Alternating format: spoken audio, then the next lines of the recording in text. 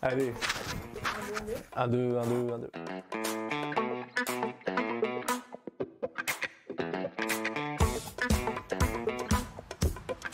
Il est important de respecter des règles en matière de facturation, celles-ci devant comprendre des mentions obligatoires.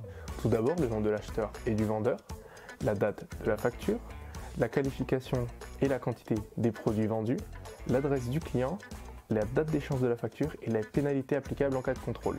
Il est important de respecter une chronologie dans la numérotation des factures, cela pour prouver qu'il n'y a pas de doublon ni de facture supprimée dans les factures établies. Cela afin de s'éviter des sanctions en cas de contrôle.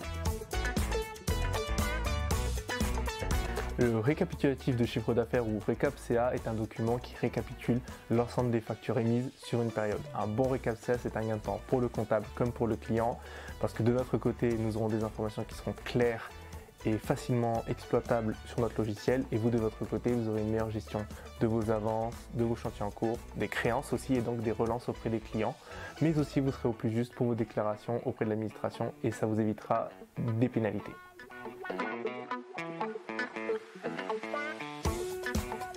La facturation électronique, c'est pour bientôt, alors autant prendre de bonnes habitudes, opter pour un logiciel qui soit agréé par l'État. Vous aurez ainsi une facturation qui sera aux normes, lisible et ça vous apportera un avantage en cas de contrôle ou de demande auprès de l'administration.